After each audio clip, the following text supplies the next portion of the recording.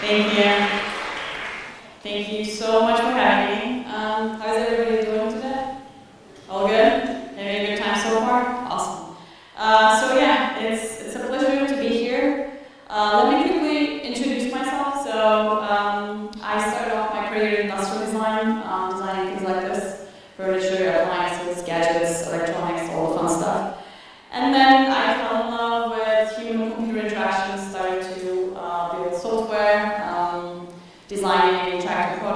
services, tools, and systems.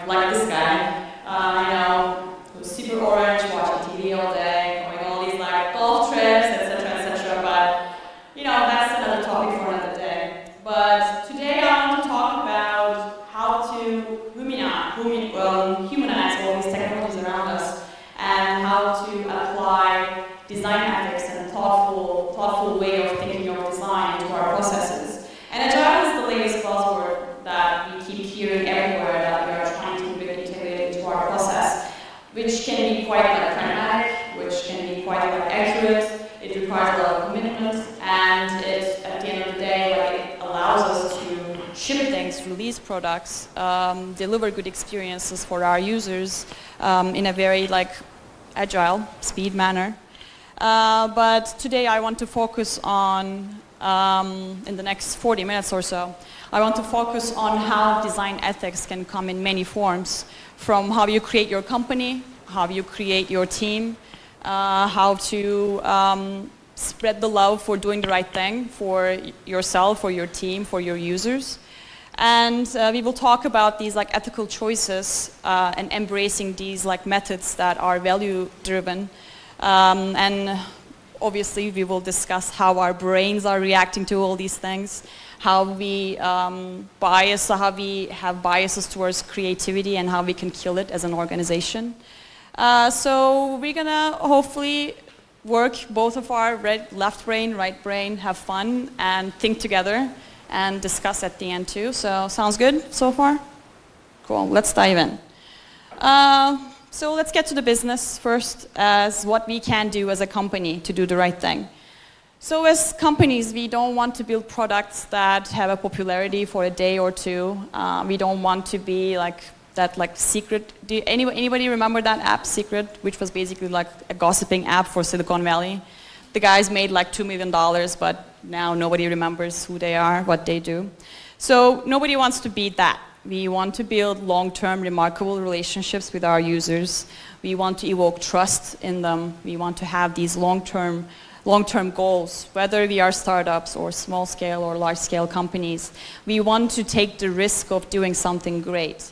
And we face a lot of challenges along the way. So I would like to share a few uh, thoughts, a few uh, practices that um, helped me, helped the companies that I worked with in that journey to move from imitation to more innovation. So let's start with um, uh, building with intention. So by the way, like I'm hoping that you guys will enjoy my uh, gift taste. I really like this Renaissance theme gifts. Uh, it's quite hilarious.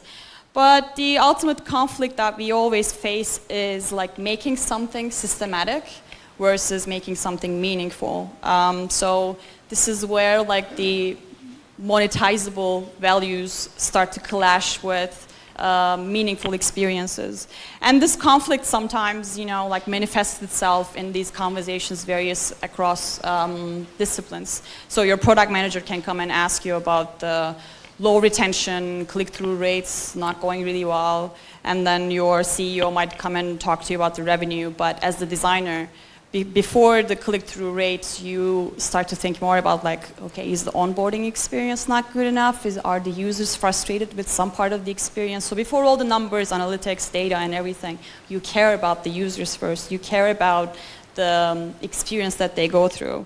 So, um, you know, those like moments of truth reveals itself when you have all these like gut checks around your priorities. So what is your priority? The click, click-through rate, the revenue, or your users and delivering something good at the end.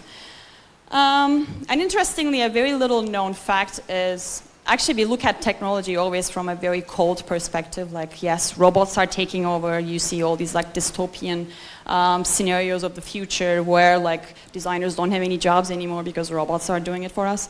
But actually technology is coming from a very very human place. So just like any word it's also coming from greek shocker. Uh, so the word technology comes from um, comes from like techne, the origin uh, of the word techne and logos.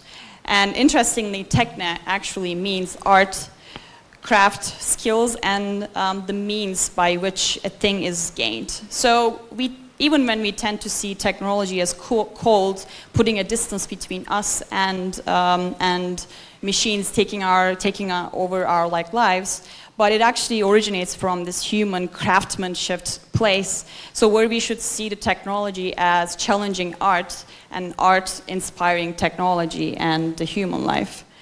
Um, but first, we should also define like what parts of like human life we are trying to improve, right? Like yes, we our human life should inspire technology, technology should inspire life, but you know, let's be more specific about the parts of lives that we are um, that we are improving. And during this journey, you know, like sometimes some companies can fall into these like buzzwords, again, the traps of like addictive or, uh, you know, like disruptive. But we already know that internet is eating up itself and the tech bubble is already facing challenges.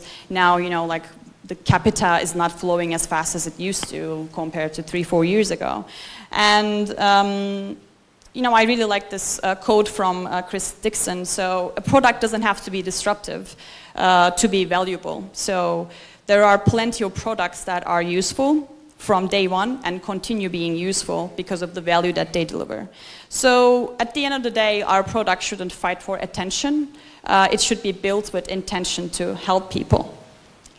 So I read this book recently, you all know Harari's book, um, so A Brief History of Humankind. Anybody read that book? It's quite fascinating. I totally recommend you all. Uh, so he talks a lot about um, history. Um, he dives into our evolution of humankind. But there is this part that really hit me when I was reading. So he was talking about this like worldly uh, revolution and the history's biggest fraud, which he calls this as um, a bad bargain between humans and grains, which is the dom domestication of uh, wheat. So this is how like the agriculture started, but actually with agriculture um, beginning point, it also started to introduce a class system, working class and the people who are um, taking advantage of that class. And then all of a sudden, we start to face long hours of work, even you know a greater risk of starvation at the end of the day too, crowded living conditions, etc., etc. So you know, this type of revolution actually turning into a bargain between um, us and the grains agriculture. In this sense, in today's world, I kind of think of that as a bargain between us and the technology and the machines. So, um, you know, now I'm living in Germany, so I feel like I have to quote a German um, philosopher. And German history is full of all these like thinkers and um, really, really great historians. So um, anybody familiar with the story of um, Faust? So this like bargaining story reminded me of um, Faust and how Faust was ready to uh, give his soul, um, exchange his soul for knowledge and for information with the devil. So you see this conversation here between Faust and the devil, where like Faust, with this greed for information, he's just ready to give up anything. So does this, does this remind you anything with the relationship that we have with data, with this like hunger for information, but the things that we also compromise on the side? But then from a role-playing perspective, are we become, becoming the devil now because we are the technology makers? And if that's the case, like, do we want to be that devil? And, you know, I like the fact that from, um, from a designer perspective, we should talk about the purposes, the goals, and the intentions rather than this is what we want to do. This is a solution, take it or leave it. It should always be like, okay, this is what we are going to do, but why? So, all right, let's also talk about something that, um, that has also become a buzz, but there's a reason why it's a buzz, because it sort of speaks for, its, for itself as a truth. We have to fail. We have to fail a lot to learn from our mistakes, to, um, to come back again, stand back again, and continue with these failures as, um, as rewards for bigger success in the future. And I'm a little, bit, a little bit of a history nerd, and when it comes to ancient Roman history, I believe it's full of these like stories of like failures and how they are turning into successes, especially in the military stories. So there is this battle of Arausio, uh, the defeat of ancient Roman Empire um, against the German tribes. And um, you know, this is one of the ancient Rome's like biggest, biggest defeat in its history. But it was also a very big like turning point uh, in world history where you know, due to like series of like unpredictable uh, weather conditions, uncertain outcomes, and ambushes, um, the military not um, being big enough, sort of like stretched out a little, like too thin across the board, Romans lost. But during this loss, they used this failure as a way to also reorganize sort of see where they were losing and see like, you know, the weather conditions and um, prepare themselves for the future even better.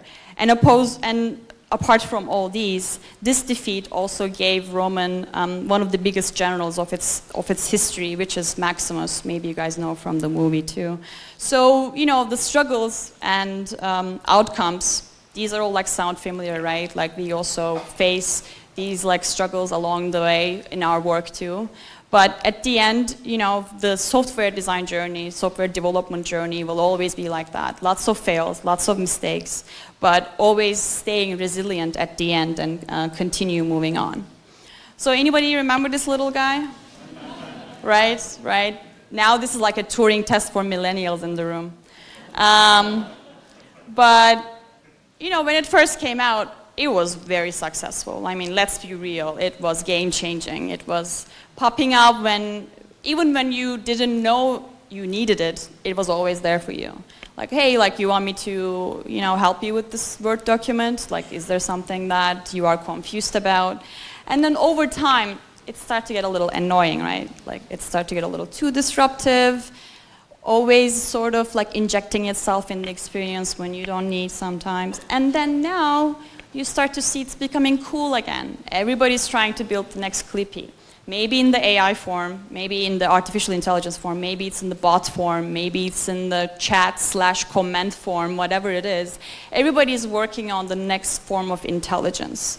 So the way we came to this is also through all these like mistakes. Like yes, like Clippy was great and then it failed, but it sort of paved the ground for all of us now to build that like foundation for digital assistance. And now you see these traces even in Cortana too, in Microsoft's artificial, artificial intelligence today, where Cortana anticipates the user's needs and semantically analyzing all this data across your agenda, across your email and your um, calendar and everything and try to help you navigating all these complex systems uh, of data and understanding experiences. So, you know, thanks to these lessons of cool, uncool, cool, oh wait, uncool again, oh cool again, now we are constantly revolutionizing the way we look at intelligence and algorithms and technologies around us. All right, let's continue more about, um, you know, this is where things get a little like interesting because we're going to talk a little about our brains now and how we are evolved to be this way, but unfortunately we have creative biases. It's, it's quite like ironic because when you ask companies or creative institutions, they always want to have creativity, right? Like creativity is always an asset for them.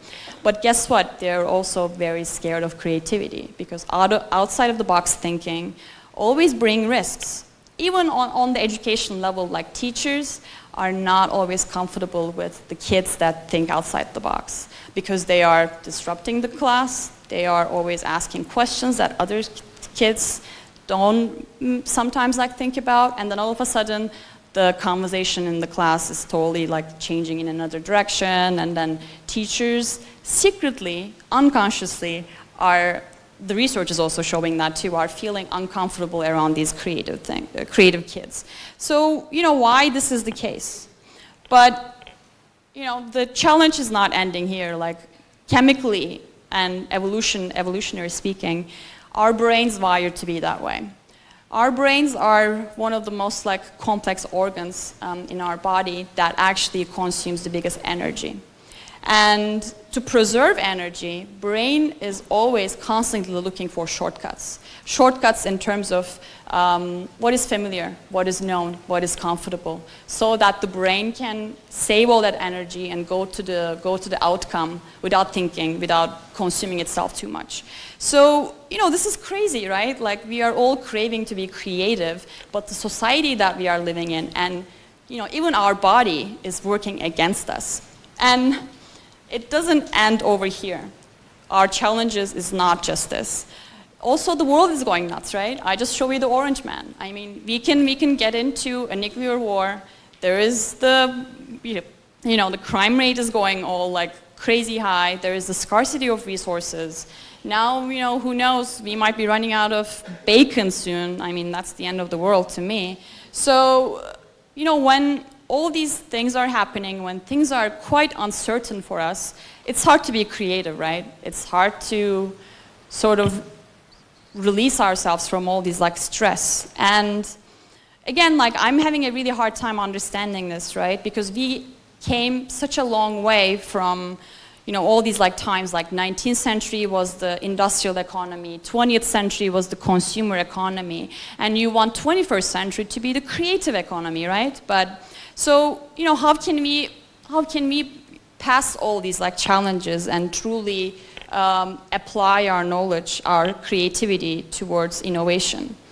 So to be able to get there, we have to embrace this, this novelty and this way of thinking as a company. These are sort of like the principles that we put together at Foursquare, for example. It's it took us a lot of time to get to this point, but it helped us a lot, even on, a, and on, on an unconscious level, to repeat ourselves. We are here to invent the future. We are here to make things that are delightful, that are exciting, that are engaging for our users. We are proud, but we are always continuing to fight and all these like great principles. And we also made sure they were visible everywhere because the, the way, the more tangible you make things for people, the more faith that you create in everybody because you sit there, you see it. You are in a meeting, you look at that at the wall, and you know, it starts to um, encourage people to feel uh, more safe around creativity. And it's really, really important. Any organization that designs a system will inevitably produce a design whose structure is also a copy of that organization's communication structure. So you want to build great products, build a great future, great culture in your company first, and then other things will obviously follow. So this is where I start to talk and nerd a lot about how to give the design seat at the table. We talk a lot about this, but design is the discipline that is fearless compared to other disciplines where we talk about this like energizing creative culture for the users. And as Conway's law already puts it so clearly, a well-designed um, system will open up the gates for great products, and it's that simple. Um, well, now let's also talk about the human side of our companies. As I said, building that culture in your, in your company is more, is more important than the technology, so champion the people before you champion your technology. Um, and how do we get there? Little things add to your philosophy. At Foursquare, for example, again, like super nerdy, but we have this plus plus contributions every Friday, which we also call it like a good karma. So we give little shout outs to people from sales to support to engineering to product management to designers, whatever they do. You crushed your support tickets today. You did an amazing job with that sales. You've solved this like edge case that we haven't really thought of before. So all these little good karma, well, the idea is basically just like giving shout out to people, making feel good about themselves, good about their work that contribute to the overall culture. And you know, this is one of my one of my biggest drives in my career now: um, diversity and inclusion. Um, this is what we do at Foursquare too. Uh, we used to do. I mean, they still have it, but I'm not a part of it, unfortunately. Uh, but a diversity group, a diversity working group, uh, where we worked to cultivate a diverse culture and inclusive culture. We also recruit um, diverse talent for the company and also help shape the future of the STEM also in the city too, in New York City. We did um, fellowships with the mayor. We brought in um, children. We brought in high school students to our, to our company where we taught them how to code, how to design. So we were trying to reach out to um, you know, organizations, institutions, not working only internally in our company but outside, just to spread the consciousness for how diversity is a great asset for innovation. So, you know, you have to put this in your mind, in your heart, and make sure you build this culture that is knitted in the DNA of the city, the company, the country, because this is how we shape a good future for everybody. And at Microsoft, we have a similar um, initiative too. Uh, we have a diversity channel, for example, on Slack, where we talk about how to make workplace safe, fun, and engaging for everybody. Because we know that company priorities are important, but the first priority is the people. And um, you know, we are designing software products that are reaching out to millions and millions of people. So if you don't appreciate the multiple, the various perspectives of people in your company, how are you going to build products that care about other people, that serve for millions of people out there? So um, the way should always be keep your people engaged, motivated, appreciated, and valued uh, to be able to learn, grow, and lead as a company. So these, are, these were sort of like the anecdotes and uh, my experiences within companies. But now I kind of want to take a deep breath. Maybe we can all do, because now we're going to jump to the second chapter, where we talk about how to do the right thing, how to talk the talk, walk the walk as a design team.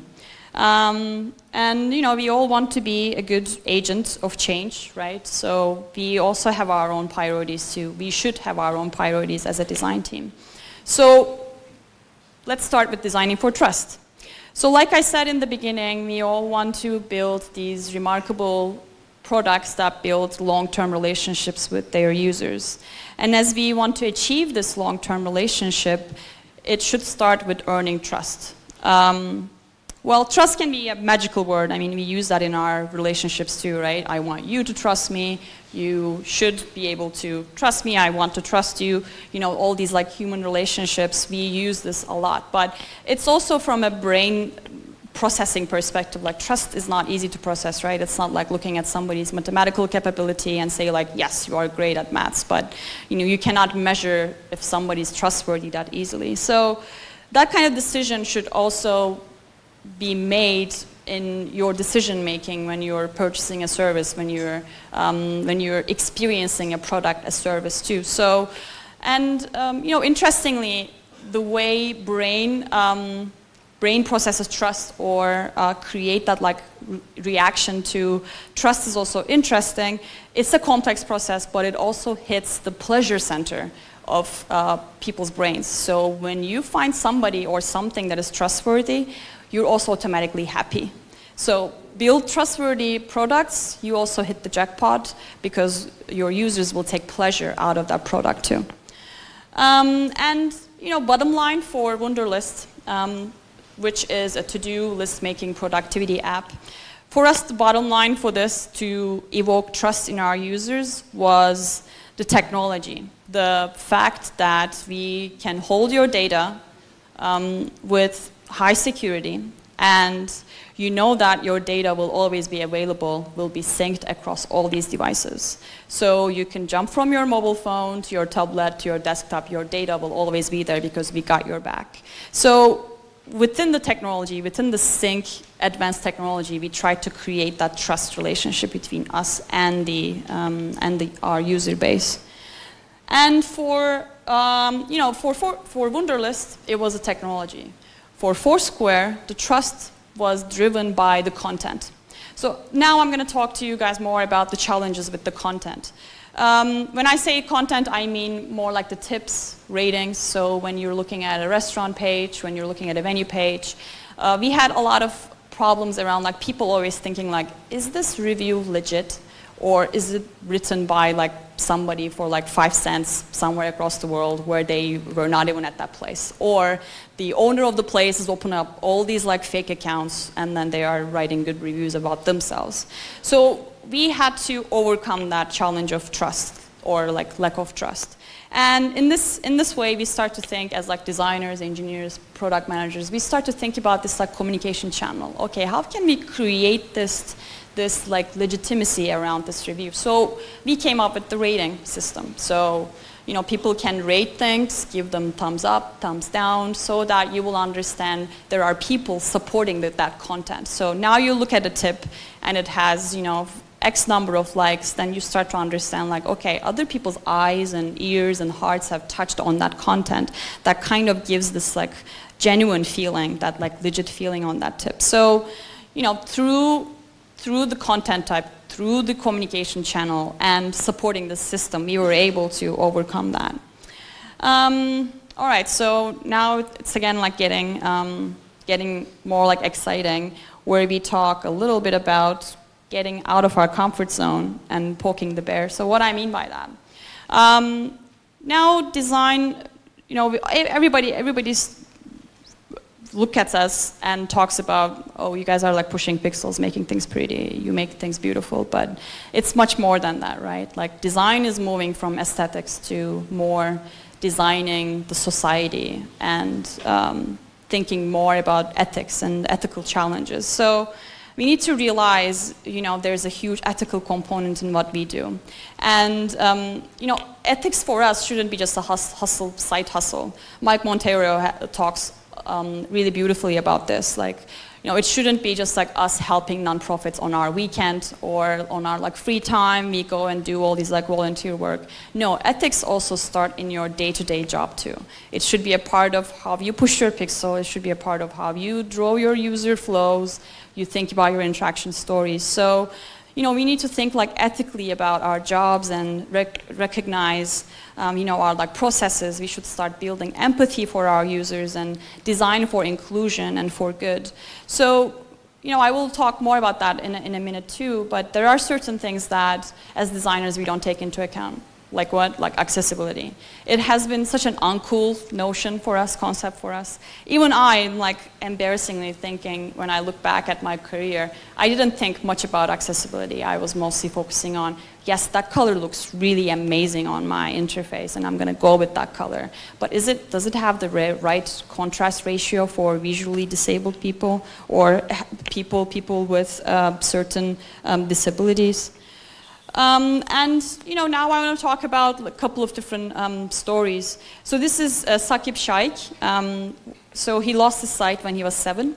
And last year, uh, he teamed up with a group of designers and engineers at Microsoft to build an app um, that tells you um, who and what's around you. So what it does, it's, it's based on uh, Microsoft Intelligence API, uh, where they let you translate faces, emotions around you, and um, it reads out all those emotions and faces out in text.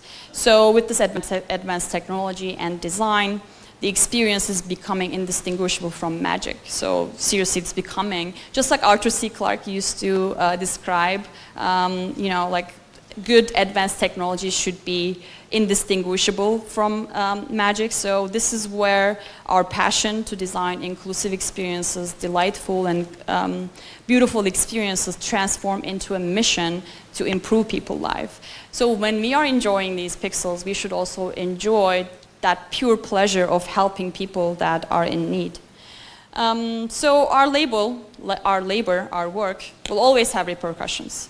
Uh, from the color choices that we make to the in keyboard interactions that we create, our labor will always touch on human life. And it will touch in remarkably intimate ways. And um, you know, when we have so much power in our hands, um, and as you can guess, great power comes great responsibility. Um, we should take all these things into account and design our guidelines, design the way we look at work, and try to be universal. So at Microsoft, while we were designing To-Do, uh, which is again a productivity tool where you can uh, keep track of your achievements, uh, we wanted to make sure, as the designers, we were the gatekeep gatekeepers for responsible, inclusive products to spread the love for accessibility and inspire also other teams while they're executing on um, delivering this promise of designing for millions. And again, before we touched any pixel, we, as a design team, we sat down and talked about why are we here? What's our mission? What do we want to change in, in the world? And we start to come up with all these like principles and these values. And again, we printed all out, post, posted all across our like office just to inspire us throughout the day. And John Maeda puts it in a very beautiful way again, like designer's role um, will be to support the social conscious um, of the product. Uh, so you might be working with people in position of authority that might not want to just, um, that might not want to slow the process by investing in accessibility, because accessibility will come with certain amount of resources, time, people, processes, tech cost, right? I love that terminology, tech cost. Um, but this is important. This is like, start seeing human diversity as, as a resource too, not just your technology or your um, backend structure as your resource for better products. Um, but as designers, if we don't care about the people, if we don't see human diversity as an asset, nobody else will. So it will start with us continuing to poke the bear and make sure others are poking the bear too and continue thinking above and beyond. So, all right, um, let's also talk about how to be our own bosses and own our discipline. And um, we should also all know that our product represent ourselves. So um, it also reflects our team's character. We should be opinionated. If we want our company to reach to a certain design maturity, we also need to own our discipline. We have to be strong in our voice and make sure sometimes we are saying no to things. We cannot say yes to every request, every, every CEO question, uh, priority, or everything on our roadmap, right? We should first question if it's really worth doing it. And sometimes it comes with certain challenging conversations where we have to say no. Um, do I have any um, Fight Club fans in the, in the room? Anybody? All right. Do you guys remember this scene? Yeah, right? It's that like legendary porch, porch scene where, well, let's talk more about this. Um, you know, it's, so there is this part where we experience a lot this terminology we use, feature creep, right? Everybody comes and asks like, we need this, data is showing that, we are lacking that, we have to do this, we have to do that. And then all of a sudden you're like, okay, but can you please give me some context before you ask me to design this? Or what, what, is, what is the underlying purpose? Can we talk about that? So to avoid feature creep, um, the folks from like 37 Signals puts it in a very beautiful way. Like it should be like Fight Club. It should be like that porch scene where each feature should be willing to stand on our porch for three days uh, to be able to be stay in the product. So people like products that say no. People like products because our products don't try to do everything all at once. It, it should never be one size fits all. They like our products because we don't try to please everybody and we know when to say no to things. Um, and yeah, we are, we are getting uh, closer to this chapter, but also let's talk more about something a little more like tactical.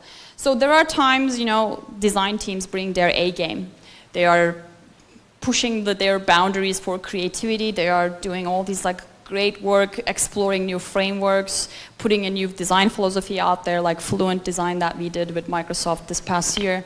And, um, and then there are times where like design team just executes. Like, have you also been there where you fixed your layers in your sketch file like three days straight? Like maybe before you go on vacation, you want to make sure you're not embarrassed with your sketch files before you pass it to your coworker. So you just sit down and fix every typo, every layer. So there will be times when you're cranking on your on top of your like creativity and doing um, doing things for long term, and then there are things where you just sit down and fix your sketch files because that's what you have to do at that point, and you start to become um, thinking more in tactical terms. So yes, there will be times a sense of urgency will sink in, and then you will be producing style guides, component libraries, and things like that. But you know that it is, it is a part of the process because you know that you invest in your future by doing this execution, by doing this production too. So it should be in the hands of the designer to have that judgment call, like when to invest in long term, when to invest in short term. And it's just like kitchen. I'm also a little bit of a sucker when it comes to food shows. I love watching all these like chefs doing or doing their thing, and I see that in like Michelin star chefs too. Like some some days they get together with their crew and they design that like signature dish that blows everybody's freaking mind, and then some sometimes they just spend like 20 hours cutting onions and potatoes in the kitchen. So it, it it's pretty much what we do too in our design team. So, all right, the last but not least, um, how to drive that change and drive for the good value as, as, a, as a designer. I'm going to share uh, a few uh, of my personal journeys with you guys. So, um, curiosity. Curiosity enables us to continue our evolutionary path. Like it really makes us ask why, right? We are here today because we constantly ask why, and all the great in inventions always start with that why. And Frank Gehry, I, I have my architect friend with me. She might like it. Uh, so Frank Gehry says, puts it in a, in a really great way, like your creativity starts with whether you're curious or not. So it is our jet fuel for curiosity. It drives success, innovation. It helps us move into these uncertain, unknown territories. We get out, get out of our comfort zone. We are always unsettled because we are curious to see if we have more, if, we, if there are new things out there that are waiting for us, if there are, um, if there are new territories. We continue asking questions and discovering, discovering um, new things around us. And we never settle for default. We always go for out of the box because we are that creative kids that teachers used to be scared of, right? Um, so this behavior actually shows itself, manifests itself in so many, so many different ways. And any, any Explorer or Safari browsers in the room? I'm going to offend you guys a little bit, but please bear with me. So, according to Adam Grant, the author of Originals, uh, according to him, we can predict your job performance and your commitment by knowing which web browser you use. I'm not kidding. So there is good evidence that shows, bear with me, Firefox and Chrome users significantly outperform people that use Explorer and Safari. Because what is, what is in common with Safari and Explorer? Because they come by default. So Apparently, people using Firefox and Chrome, they stay in their jobs 15% longer. Um, and you know, even all these like browsers have the same speed capability, the same technological uh, possibilities. Explorer and Safari come installed. The others, they are all like handed to you. But Chrome and Firefox, you doubt. You look for something better. Even when it's not better, at least you go through the journey of looking for it. So it's not just a par part of your personality where curiosity makes an impact on your performance, uh, but this becomes, this defines like who you are and at the end um, makes an impact on the work to search better, to look for something unique. Um, and as I said, I'm, an, I'm, coming from an industrial design background, so I have a super big crush on Dieter Rams. Um, again, German bonus over there, both industrial designer and German, and it fits with my background like so perfectly now. So yes, this legendary Dieter Rams, German designer, always says, um, you know, nothing works without the details. They are everything, the baseline of quality. De good design is through um, is thorough down to the last, last detail. And um, you know, nothing really should feel arbitrary in your work. Uh, nothing should be left to chance. So do you want to show respect for your users and put the care and accu accuracy and refine your work in your process? I'm assuming the answer is yes. So we should pay attention to every little detail because all these de little details are the design actually. Um, let's talk about for example, the power of words and language. It's funny, you know, all these years now we have copywriting departments in our um, companies. Um, now words are becoming even more powerful. What it makes me sad when I see lorem ipsum in designs. We can do much, much better than that, right? And when language is also a piece of technology, like Mark Pagel says, um, it's also a tool for us to empower our users um, through the power of words and, uh, and language. So interesting study. Um, according to this economist Keith Chen, languages that don't have tenses, uh, like Mandarin and Finnish, um, that have only present tense, that cover also both present and future tense, um, it look at the present and the future equally uh, from a language perspective because of the lack of tenses. But in English, we have tenses, right? We have the present, we have the future. And um, interestingly, future tense, according to the study, future tense puts a distance uh, between us and today, and it reflects on our money-saving activities. So people, interestingly, save more money in China and in Finland because they think the future is right around the corner, because future is today, actually. But in English-speaking countries, future oh, it's days, months ahead of us, so who cares about saving the money, right? Let's just live the day. It's so, so weird when you look at the power of words and language changing the way you live your life, changing the way you save your money, the way you save your finances, your economy. Why don't we design the language also? Just like we design our experiences, just like we pick the right color palettes to write like typography. So we should, we should care about that detail too because actually guess what, it's not a detail anymore, it's so strong in the experience. Um, in To Do, Microsoft To Do, uh, it's maybe cheesy, but our mission is to make, um, is to help people become better versions of themselves. And every little detail from how you name a list, how you name, how you position um, a folder, all the naming conventions, make an impact on the user's um, productivity and their achievements. So we see that in our um, experiments too. So we start to call the very main experience my day, just to put more focus on people's minds around the day. How do you describe the day? My day is 24 hours, but most of that day you're sleeping, so there's like there's 14, 14 hours of that day is left. So you start to become more conscious when we start to use day around how much you can do, how much you can accomplish. And we saw that in our experiments that when we start to, when we are using the My Day, people are much more um, aware of what they can put in the list because they know, wait, I have only this many hours in the day, so I cannot just dump everything. So we saw that people are achieving more things because they are in this mind day mindset. And at the end, they are feeling much more productive because it's not a long list of like 30 tasks and at the end you are doing only two. you are putting two or four and you're doing all of those things during the day too so you, it is the product is making you happy too at the end and like another detail another way of looking at technology um, so i love this experiment that they do at facebook they call it uh, 2g tuesdays where they create um, more empathy um, within the company where every employee switches to uh, 2g networking to build that empathy with their users that are in developing countries. So most of the time we make all these like beautiful animations, right? We make all these beautiful interfaces, we put uh, beautiful images, but do we think about the loading?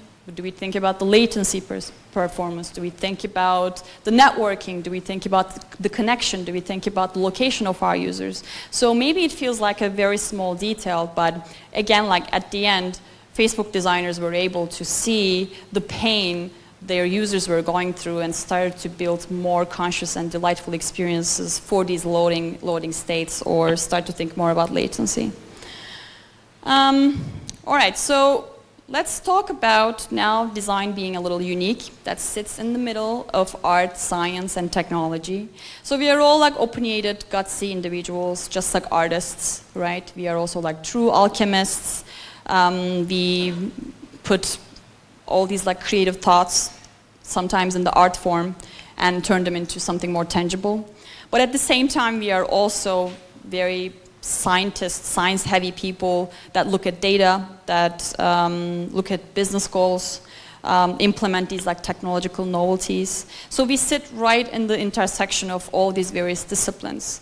And you see that in some companies quite clearly like Pixar right? They are true scientists that is blended with true art.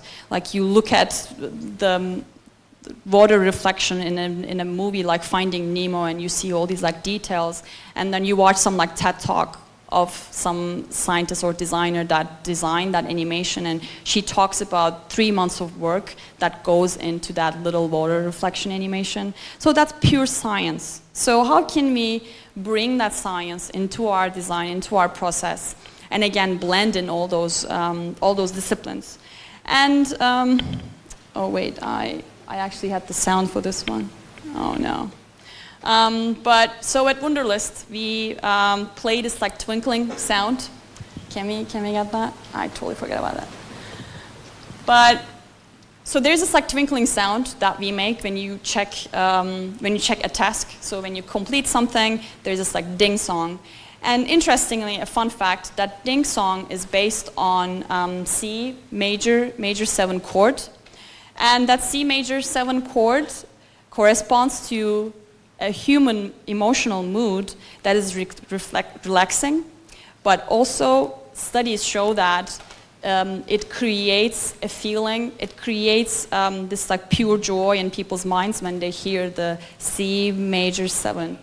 And you know, in, the, in this case, like we see um, accomplishment, completing a task is partnered up with this with this little like sound, with this little like science that uh, brings that like happiness, that brings this cheerful experience. So science, design all together coming in and creating both a psychological effect on people while they are accomplishing something. Oh.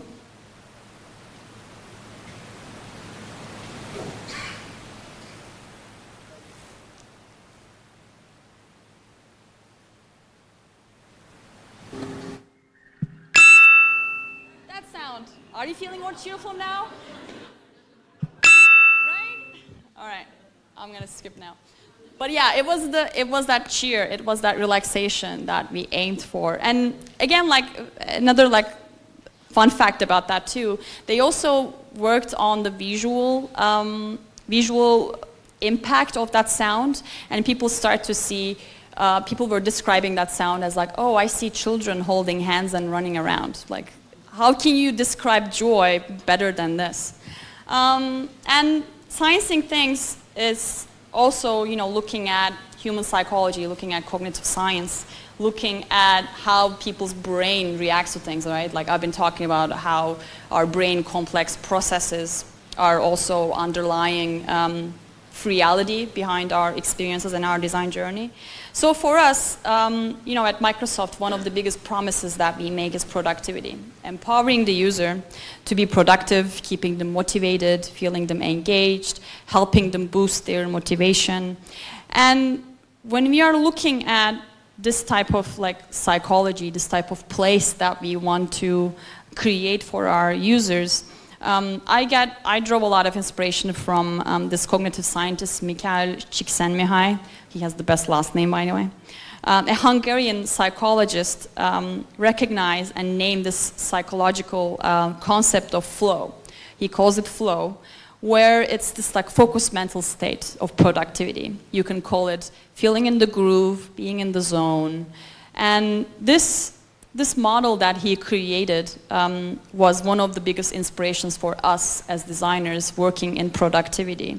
So how can we get people into this flow, into this zone, and we start to call this like no bullshit model, but where like you see there's highest engagement, where there is low challenge, where there's medium, medium level challenge. So finding that like perfect perfect place, that like special sauce for our people, for our users, to feel certain way so that we hit the right places for their productivity too. And you know, this is where that like science of psychology, cognition, and user experience get together. Um, so as, as a successful designer, we should also have a strong psychology, a strong um, mindset, right? Because our journeys are always tough we go through these like hard days where design is still struggling to prove it, prove itself, right? That's why I was talking about designer seat. Let's let's give a seat at the table. But what does that mean? So we need to grow thick skins as designers to at some point we have to separate ourselves from our work. I understand we all stay up till late to get things work. We sketch things out, so many ideas, and then most of the time, you know, some of them work, some of them don't. But, you know, growing a thick skin is important. Sometimes you have to fake it until you make it. I used to do it a lot in my agency days, like I'm standing in front of a client, I'm scared as shitless, but I try to fake like I'm the bravest person in the room so that I sort of build this like different persona for myself so that I can present my work in a confident way so that I can stand behind my work. But like sometimes you also have to embrace that doubt because like I said, that doubt pushes us to be curious, that curiosity pushes us to search for something and it's a part of the journey. And the way I look at this is also 10 step, steps of, you might call it misery, but I think it's 10 steps of um, glory. But it always starts like that. We produce lots of ideas and then we think we are awesome, right? And then 90% of those ideas turn out to be shit, and then you try to explain, you know, why you are the one designing that, unlike not not your PM or your engineer, you should be the designer. And then you go through all these like phases of like, oh my god, my work is great. Oh no, my work is really bad. Oh no, 100 ideas. Okay, none of them are working. And then at the end, at the end, you find that solution. And you see, you know, you crush that, you turn um, that idea, that bad idea in the beginning into gold, some innovation, and then all of a sudden you are there and um, you feel proud of yourself. And that's what we call being a designer is at the end too. Um, so do the work that you believe in, but do it with professionalism, do it with integrity, and do it with competence. And as Tim Brown says, we cannot continue creating stories only. We also have to create movements because the history is full of geniuses that fell on their faces multiple times on their path to success, but they knew when to stand back.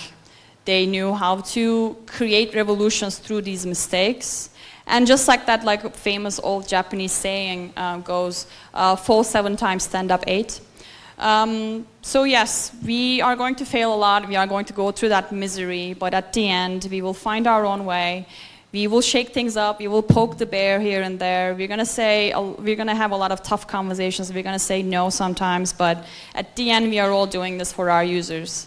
And at the end, we have that responsibility to do the right thing because we have to do it or nobody else will. Um, and yes, so thank you so much for having me, listening to me. Hope you enjoyed it.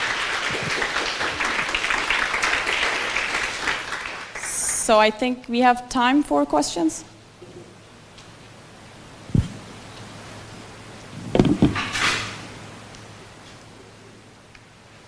Any questions? No? Is it a good sign or bad?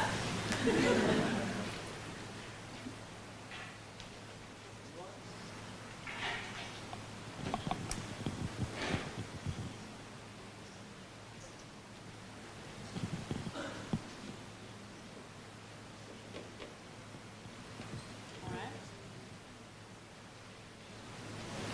You can always find me on Twitter. I think people are people are still thinking about the question, so let's give two three minutes and then maybe. Of course.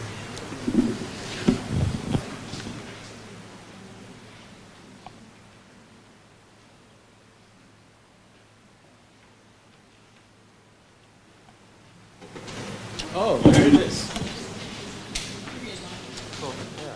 Thanks. There's a lot to digest. That's why I think people are still catching up. Um, so um, you have a lot of interest within design, the nerdy stuff, um. Um, how do you find the time to to do all of this? Because I mean, everything you said is true, but in principle, you know, um, when there are projects. Um, yeah, there's people, there's users, there's stakeholders. Um, do you have any tips on how you how you string it together? I, I can see that you have a lot of interest and identify with that, but I struggle to string it together. Great question. Sleeping is overrated. That's, that's how I'm going to answer. No. Yeah, partially. Um, I guess like it's also a personal technique that I think everybody should develop, like how you use your time. I struggled with that a lot in my own personal career, in my professional career, personal life. Um, but I found the magic use of calendar finally. I also recommend you guys to try this too. I block my time on my calendar, even for thinking. Like I go super anal, super organized when it comes to like I'm gonna block this chunk just for reading. I'm gonna block this chunk for just you know talking to my teams, call- talking to my colleagues.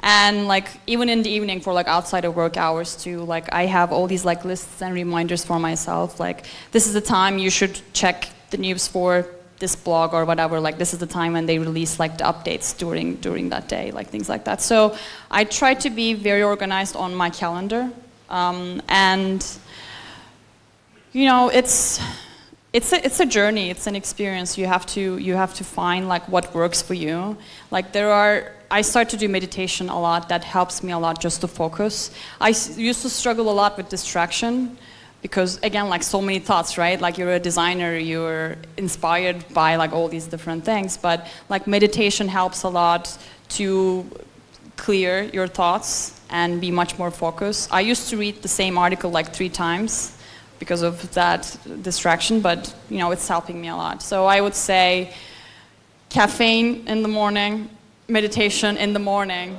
uh, you know, six, eight hours sleep, but be very, very organized on your calendar and like make sure you're using your time like wisely. And like in the office, like it's so easy to again, you know, dive into some like fountain, the coffee uh, machine like talk, but try to also use that for inspiration to like bring some like articles or like you know share things with your coworkers and try to push people's buttons and try to learn from people too because yeah like my team always inspired me the people that i work with um, so yeah does that answer your question How can this side lose out? I mean, that the side they already asked the question, so you have more people this side. Oh, you have a question, sorry.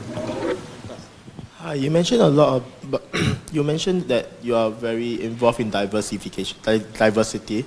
So, could I just check with you, how do you go about handling conflicts in a diverse environment? Because there are situations where some of your colleagues may come from different cultures, yet when conflict arises, some of them get very passive aggressive and don't really say anything until like it blows up or so how will you actually go about handling that?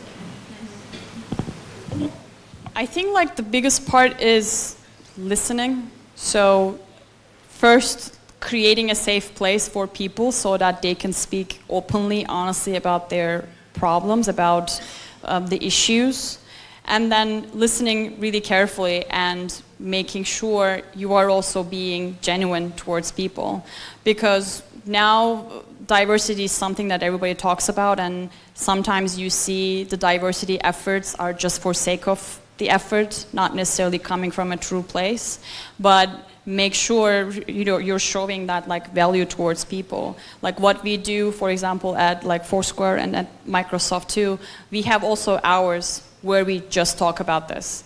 We rotate also um, also like issues like for example, a couple of weeks ago, we did an issue creating um, inclusion for people that are working remotely.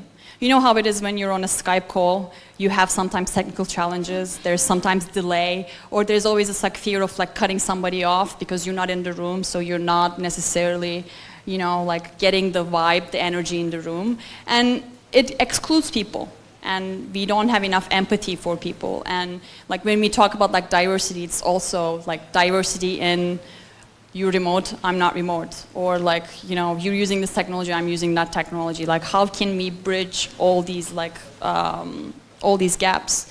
So for that, we make sure we have the um, acknowledgement, we acknowledge the problem, we get together, we talk about the problem, and we create that space. Like for that hour, this is just what we talk about. And we are not going to leave this room until we have a solution for that. And you know, somebody taking notes, somebody sharing the uh, outcomes, and we are taking necessary steps at the end too. Like conflict is inevitable, like conflict on every level, in every situation, but it's about listening to each other. Like there's this experiment, they call it the green chair and the yellow chair.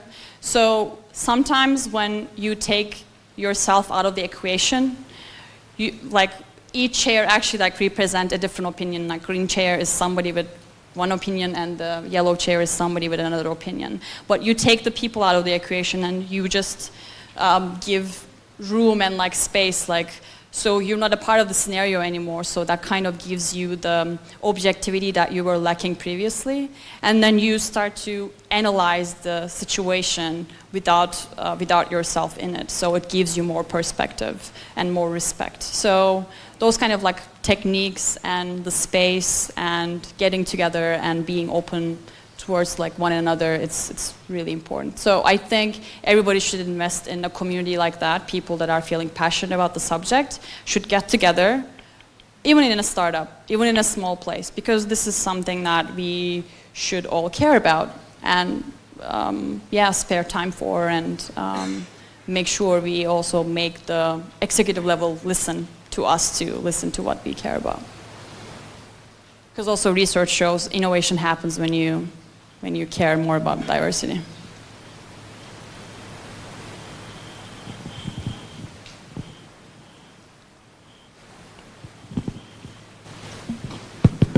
Hi. Uh, okay, to stay on the topic of diversity, and I have a question specifically about data, because um, data is something that increasingly we try to use a lot, but then when you try to use data in diversity, you run into a big problem, because diversity is always about minority groups minority languages, minority browsers, or, or te technology systems, which actually may be related to socioeconomics and stuff like that, as you mentioned.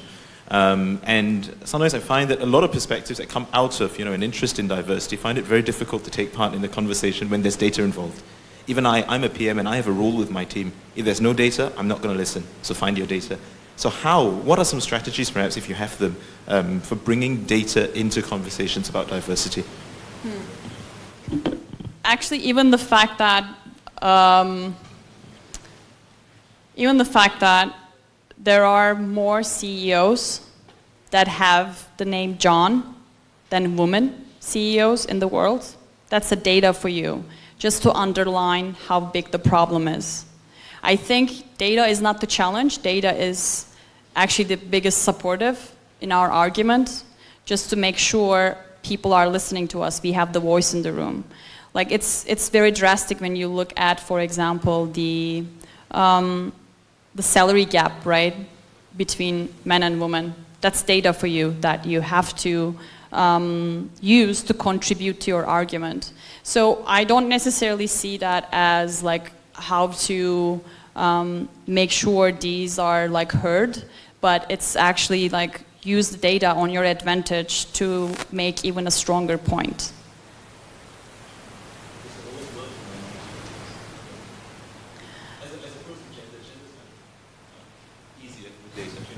Uh-huh, uh-huh.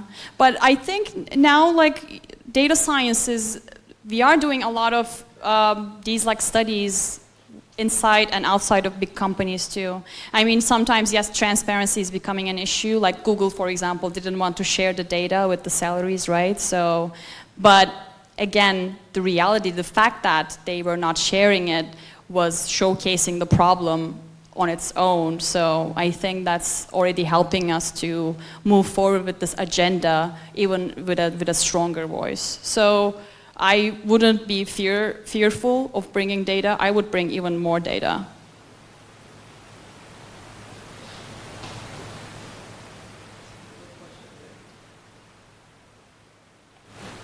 Hi, uh, my name is Yvonne. Thank you for the inspiring talk. Um, I'm just curious because like we are all designers here and you're talking a lot about accessibility, diversity, inclusiveness, but I am worried that we are like somehow in our own like echo chamber. We are all very idealistic people. So I'm wondering if you have any tips on how we can get other people outside of our circle to care more mm. about this issue. Mm.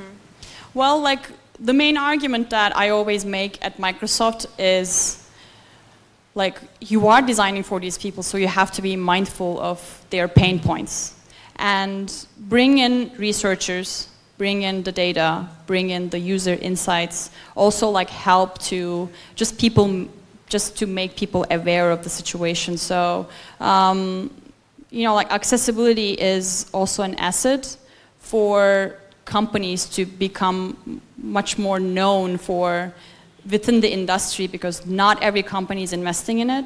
So I encourage companies to work in this field even more so that like don't you become don't you want to become the reference point? Don't you want don't you want to be that like example that everybody's like pointing out? So like there is there is some beauty of uh, working in this and being that company that invests in it because you will make um, you will create that like um, image for the company that is inclusive, that is thoughtful, that is strong, so that this will contribute again like to their like success. Like yes, it will take time, but at the end, not enough companies are doing it. So when you do it, you you sort of stand out in the crowd and like that uniqueness that personality helps you build an identity for the company that sort of like helps them um, to be even like more successful. So I, I sort of make that argument to, for the company to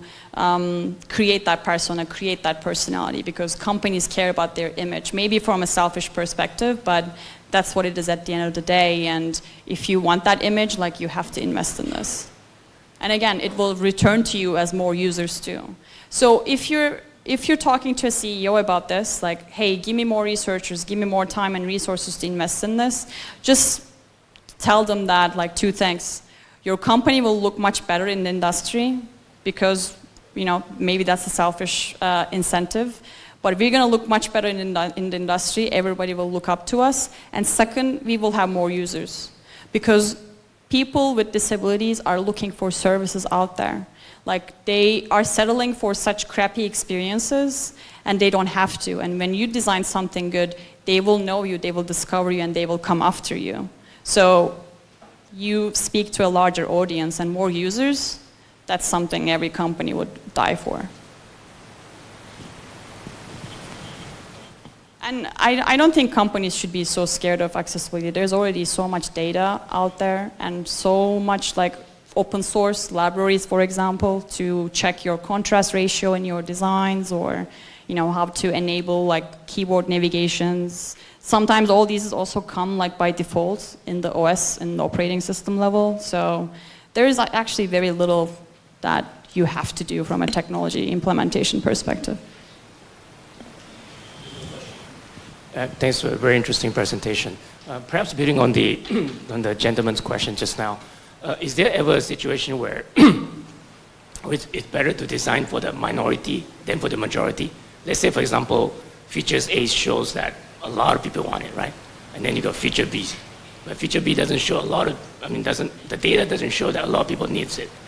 Would there be a situation where it's actually, that you actually, it's better for you to design feature B?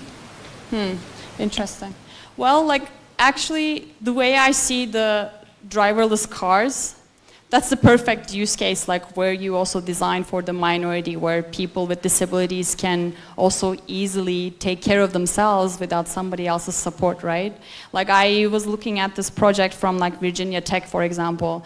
They built the whole technology for people with visual disabilities, a car that the visually disabled people can actually drive too because the whole interface is designed with haptic feedback.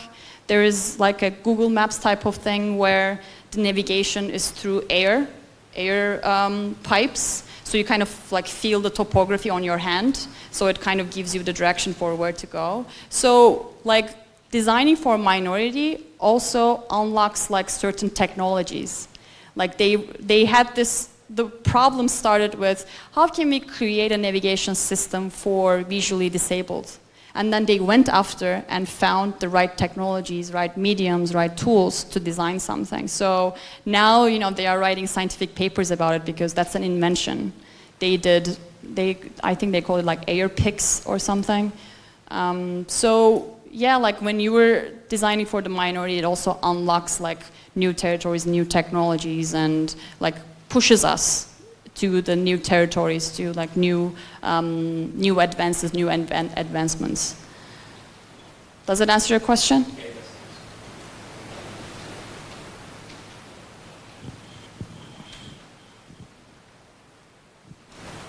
Okay, it looks like there are no more questions. So thanks a lot for so much energy after flying in all the way from Germany uh, this morning. Yeah, please clap.